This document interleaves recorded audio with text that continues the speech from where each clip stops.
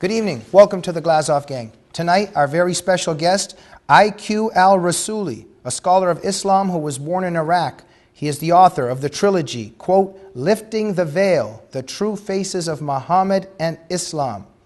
The book is based on his YouTube series, Idiot's Guide to Islam. Mr. Al Rassooli, what an honor to have you on the Glazov Gang. Thank you for having me. It's Thank- an honor to be with you. Thank you very much. And this evening, we're going to discuss is Allah the same as the God of the Bible? And we'll discuss several other interconnected themes. Before we begin, you are a fascinating man. I would also say a courageous man. Introduce yourself to our viewers. Well, I was born in Iraq. My mother tongue, of course, is Arabic. My parents were secular, so we would, you know, uh, they didn't go to to pray, and I was brought up among people who are Christians, Jews, Buddhists, and Hindus in Iraq. And when I came to Europe to study, I was sent to study, and I was able to access information from the library. I started comparing the Quran and the Bible because I wanted to find out if what the Quran says about the Bible is exactly the same. To my shock and horror, it wasn't the same. And that started me on a 30 years, over 30 years of research. I've studied the Quran completely, the Hadith, the New Testament, the Hebrew Bible, Hinduism and Buddhism, so that I can have as much background in religions as possible. And I came to conclusions which are very controversial. And in the year 2000, November 2000, I wanted to publish my books in Europe. Every single publishing firm refused to accept them. They said it's too incendiary. Only in America why I was able to do that with the Author House. And thank God I was able to publish all three books of mine. And they are controversial because the conclusions I come to are in, completely different from everybody else's. The most important thing about Islam is whether Allah is the same as the God of the Bible. And I would like to discuss this. Discuss it. Well, look, after 30 years of researching and studying the subjects of Muhammad, his Quran, and Islam, I know that the very best way to deal with Islam is not war, but on the battlefield of knowledge. Because the worst nightmare of Muhammad and Islam is knowledge of their scripture. That is why Muslims want to make any and all revelations of the facts about their satanic cult belief system as racism that should be outlawed. Dear Americans, first and foremost, no Muslim and no scholar of Islam or any of their apologists would ever point out at the beginning of either their books or their lectures the extremely simple but most fundamental observation, which is the following irrefutable fact that humanity has only the words of a single man called Muhammad bin Abdullah, as transmitted to us by his companions in the Hadith, declaring that he was the messenger of Allah and that Allah revealed to him the verses of the Quran through the agency of the angel Gabriel over an incredibly long period of 23 years, as and when he needed revelations. I call these made to order revelations as proven by the hadiths. Ladies and gentlemen, having researched the Islamic records, I could not find a single mention of an eyewitness report by any of Muhammad's wives, nor by any of his most intimate companions, that any of them ever heard Muhammad and Gabriel talk to each other, or had any of them seen Gabriel and Muhammad together. I repeat again, in the hope that my words will sink in. All that humanity has or will ever have in information about the events that Muhammad asserts occurred to him are the words of a single pathological liar called Muhammad bin Abdullah, unsubstantiated, unobserved, unwitnessed, and uncorroborated by any other independent source. In no proper court of law would such testimony be accepted as true. It is an incontrovertible fact that the whole structure of the cult belief system of Muhammad and Islam stands or falls like an inverted pyramid based entirely upon a single dogma that Allah is God, that Allah is the same as the God of the Bible. Hence, by proving beyond a shadow or even a reasonable doubt, based entirely on the Islamic records, that Allah is not God and most assuredly not the same as the God of Jesus, Moses, and Abraham, then Muhammad is proven to have been a pathological liar and not a prophet. And this Quran is most definitely not divinely, divinely inspired, thus forever devastating the fiction that Islam is an Abrahamically revealed religion. Ladies and gentlemen, according to all religious beliefs, the attributes of God are forever existing, all knowing, all powerful, or omnipresent, omniscient, omnipotent. I shall now proceed to prove that Allah is not the same as the God of the Bible based on two of the most important verses of Muhammad's Quran. Take number one, case number one. I'm quoting now from the Quran, Al Ma'idah, chapter 5, verse 46. And it says, And in their footsteps, we, Allah, sent Jesus, the son of Mary, confirming the Torah, the law of Moses that had come before him. We sent him the Gospels, Injil. Therein was guidance and light and confirmation of the Torah that had come before him. Let me explain the inherent implications of this verse. First, Allah proclaims in perfectly clear Arabic that it was He who revealed the Torah or Torah, which are the four, the five books, the first five books of the Bible, comprising Genesis, Exodus, Leviticus, Numbers, and Deuteronomy, to Moses. Second, this verse also asserts that it was Allah, the God of the Muslims, who also revealed the Gospels, Injil, all four of them, to Jesus after confirming Allah's revelations to Moses. Ladies and gentlemen, anyone with two brain cells of logic who knows the New Testament would also know that the Gospels were never revealed to Jesus by anyone since they were written 50 to 100 years after Jesus was dead and resurrected. Hence, I raise the simplest of questions. How is it possible for Allah, if Allah were the same as the omniscient God of Abraham, Moses, and Jesus, not know this fact? How could the angel Gabriel, the alleged messenger of Allah, who 620 years earlier predicted the arrival of Jesus as the Messiah, the Redeemer of humanity, deceived Muhammad with such a blatant lie? Allah, therefore, cannot possibly be the same as the God of Jesus, Moses, and Abraham. Before I continue, do you have any questions, Mr. You know what? I'd like you to continue. I talk enough. okay. In case number two, again, I'm quoting from the Quran, Al Nisa, chapter 4, verse 157. They said, We killed Christ, Jesus, the son of Mary, the apostle of Allah. But they killed him not, nor crucified him. But so it was made to appear to them, and for a certainty they killed him not.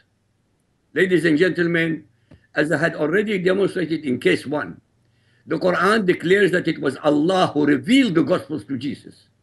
And we know for a fact that is not a true case.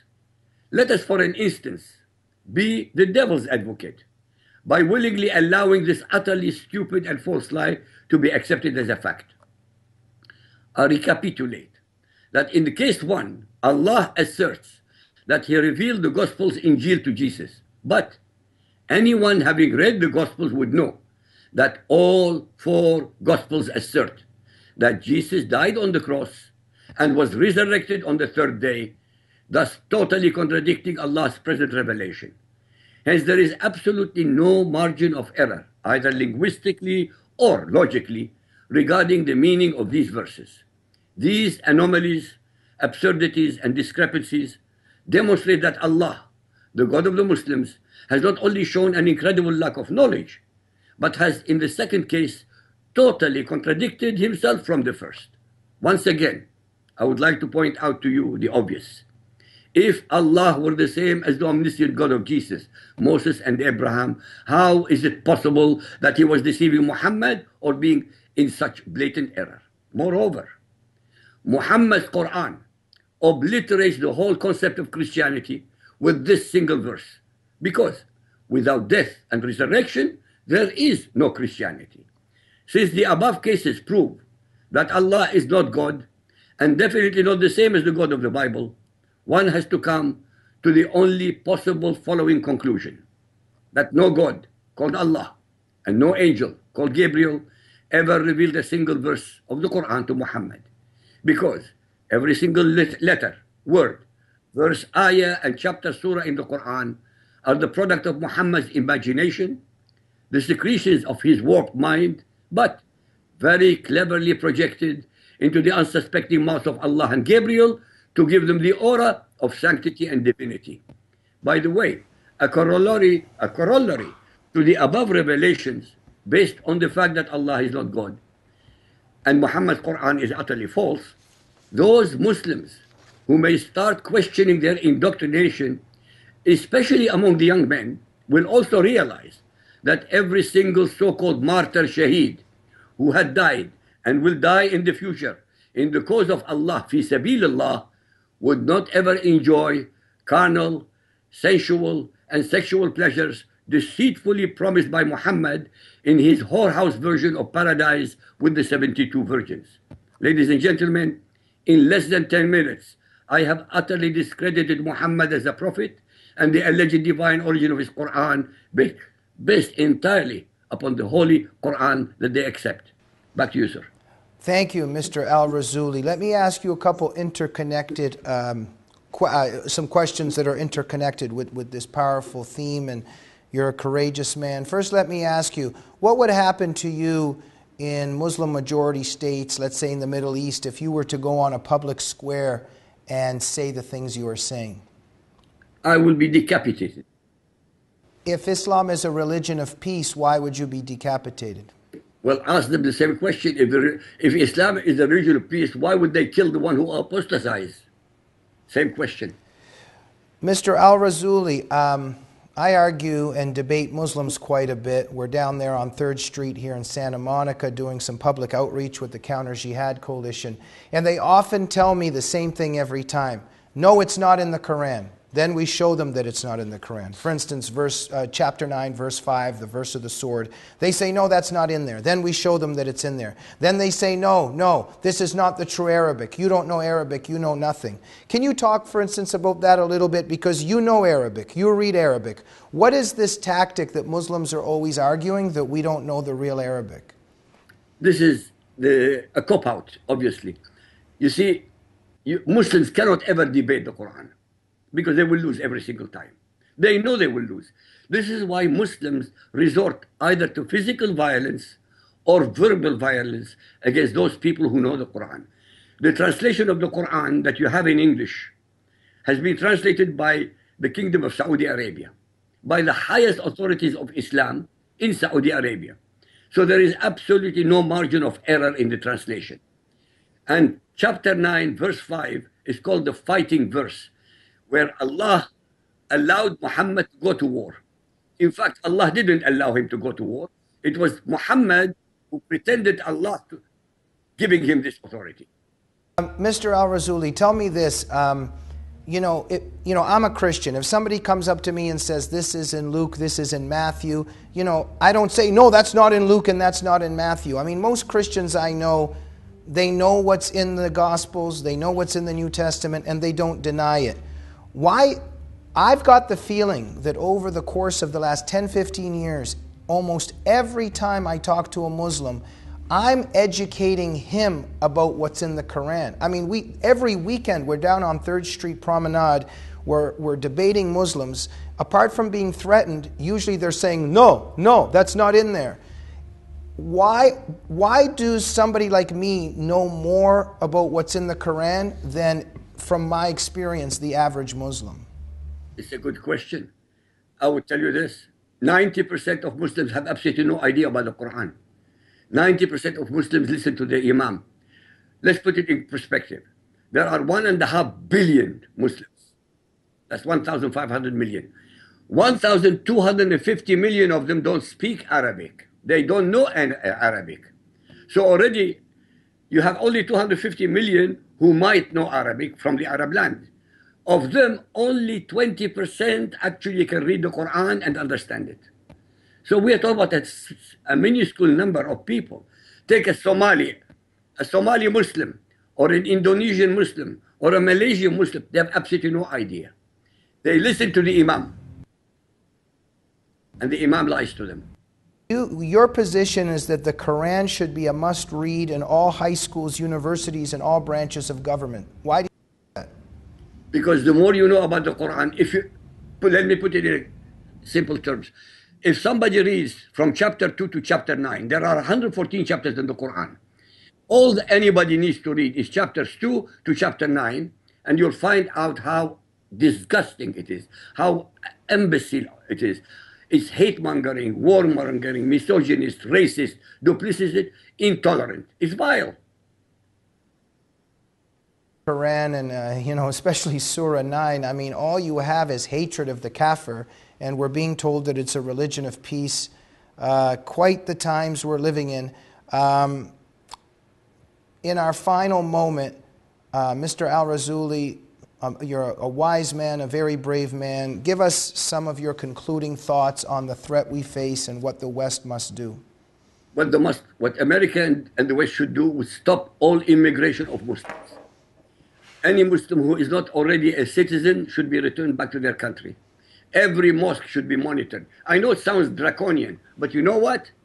They don't allow any Christian or Jew or Buddhist or Hindu to build a single temple in their land. They don't allow a Christian or a Jew or a Hindu to have one of their books in their land. They don't allow any of us who are not Muslims to proselytize.